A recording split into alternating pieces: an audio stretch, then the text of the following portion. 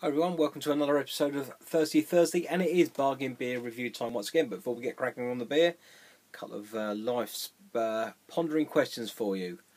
Um, does such thing as a yeti roam the mountains of the Himalayas?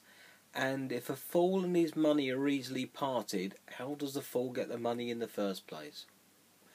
Anyway, up today we have a right bargain.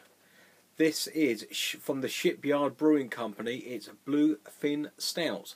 Now, I got this from um, shop B&M here in the UK, which is a bargain chain of um, like supermarket hardware type shops. This tips the scales at 4.7% ABV, and it's a 350ml bottle. Now, it's actually an import bottle as well, which makes it even more special. Um, imported, American craft beer. Now, this cost me, you waiting for this, 60 English pence for that bottle.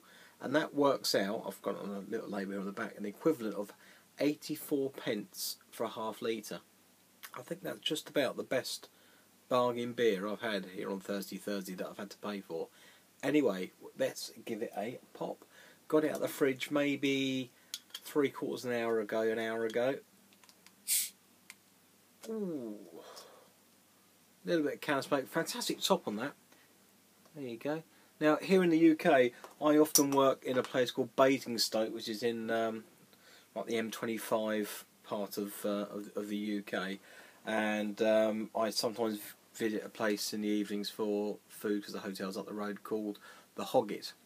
Hogget often have shipyard ales on their uh, on their house ales in there, which is quite a nice pub for gastro food and some craft beers and uh, um, yeah, I'll put a little link to them down down below actually, just in case you are in that in the UK that part of the world, and uh, yeah, have a look. Glass bit different. This is me Jeremiah Weed, but let's give this a pour. Light carbonation in that already. Look at that. It looks like a looks like I'm pouring a glass of Coca-Cola, doesn't it? And now, if my maths are right, yeah, this fits in under the mill. And there she is once again. Right then, colour-wise, that the light's not too bad in here. That is a I'll say that's a very very dark brown, not quite jet black um, I haven't got the old torch here to do the old infamous torch test, but yeah, colour wise, you can see that. You can't see through it anyway. Let's go in for a sniff. Head's dissipated. I'm just wondering in hindsight if that was my naff pouring or if I should have used a um, nucleated glass, but let's go in for a sniff.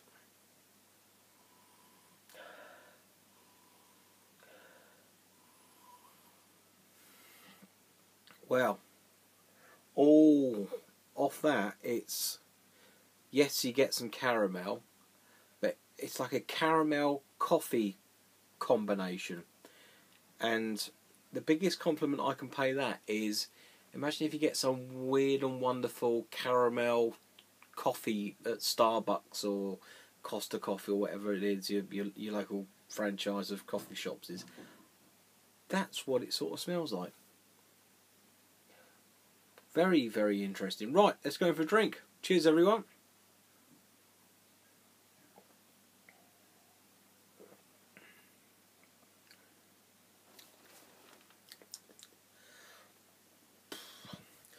You immediately get the dark roast of the malts. Very, very, maybe a faint bit of licorice, but that is all like coffee to me and it's it's like a mild coffee as well. It's quite it's quite light on the carbonation. Flows down very very easily. I hasten to add. Um, mouthfeel is sort of light to medium. Um, maybe in the initial mouthful it can be gassy, but within a split second the gas goes almost as it hits the tongue. Um, but that is an interesting beer. The flavour that I probably can't describe it all that well in there, but I'm, I'm trying to think at Starbucks, not cappuccino, maybe a not an Americano, maybe a mocha. That it's got that sort of taste to it. Now, um, you know, overall, would I buy that again?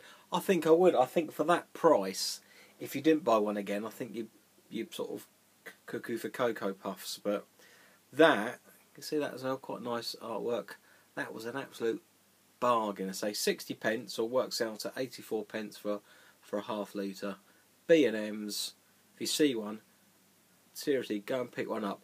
I think it probably. I had something years ago in.